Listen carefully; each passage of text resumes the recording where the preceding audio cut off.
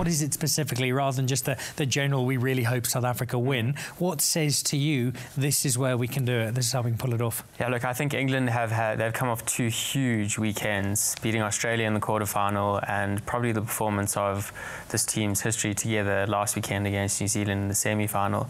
To back that up the third week in a row and to perform at that level may be difficult.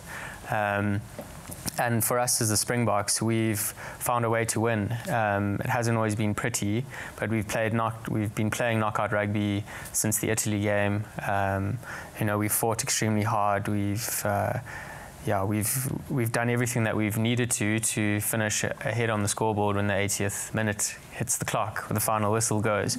so I think with with those considerations, I think it's going to be a, a, a close contest, and I think that. Um, as Deon has said, we, we do have the opportunity to surprise them, and our best is still yet to come. Um, we certainly haven't played to our, our best.